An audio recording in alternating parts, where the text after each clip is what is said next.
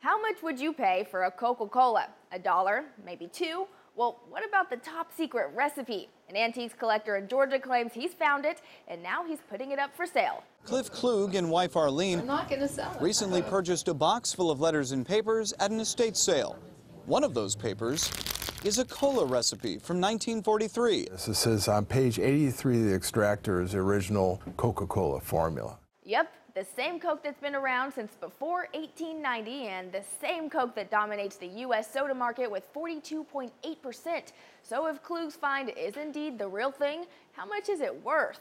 Well, he's asking a very pretty penny, $5 million.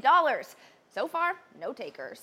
But apparently his recipe is pretty similar to one NPR posted on its This American Life website two years ago. The site got so much traffic because of it that it crashed, and the recipe, it didn't turn out to be the real thing.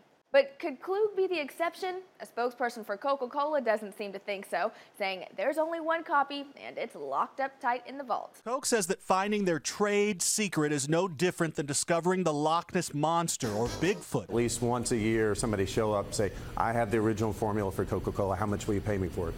Well, we don't need to pay him anything for it because we have the only real one. Cliff Kluge says he doesn't actually think he'll get $5 million for a so called recipe, but he's hoping for at least a couple thousand. Oh, and if you want to put your bid in, you've got six days left. For Newsy, I'm Jasmine Bailey.